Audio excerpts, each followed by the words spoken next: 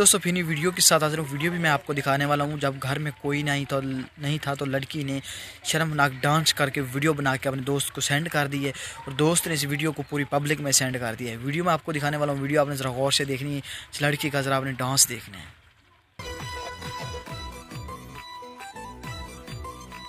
देखिए दोस्तों, आगे आगे देखें ये करती क्या है। वीडियो गौर से ये देख। ये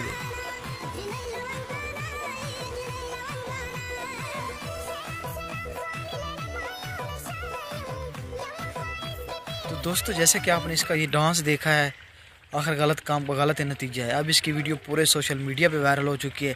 अब इसको एहसास हो रहा होगा कि ये मैंने क्या कर दिया